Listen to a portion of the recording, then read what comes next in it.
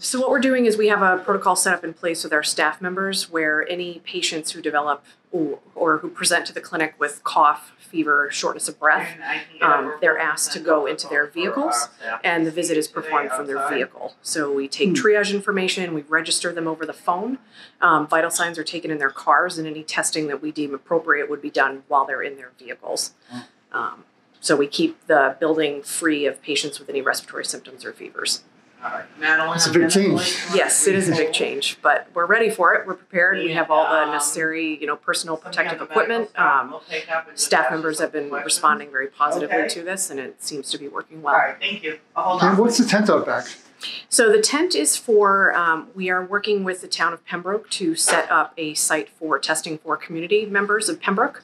Um, currently, that's not active. We're looking to get that to be active in either Monday or Tuesday. Um, we're working on a telemedicine um, process where um, residents of the town of Pembroke would call into a telemedicine line and be screened to see if they would be eligible for COVID 19 testing. Um, it's not a drive by site, you would need to be pre screened through telemedicine by one of our providers. Okay. Um, so has it been really busy? What's Um, volume's been average. Um, we have seen, you know, several patients have presented to the clinic with symptoms that could be suspicious for COVID 19, and we have sent out several tests. Um, those test results are not back yet, um, but its volume's been average.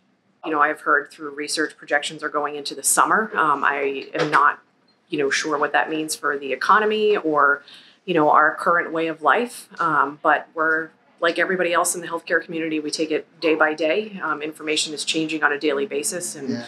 we stay on top of that as much as we can. The best thing you can do for the safety of yourself, your family, and the public in general is to stay home.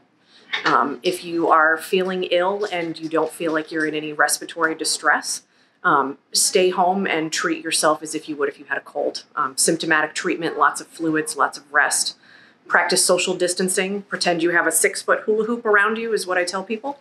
Um, you know, stay away from people with you know compromised immune systems um, and chronic medical problems. But really, staying home and really adhering to those social distancing guidelines is the best thing we can do for ourselves people need essentials. Um, you know, a lot of people still need, you know, groceries and medicines, and people are going to be going out to stores. Um, but you want to try to limit those trips as much as you can and only get the essential items that you need. This is not the time to go, you know, window shopping and, you know, looking for your dress for a wedding in the fall, you know, essentials.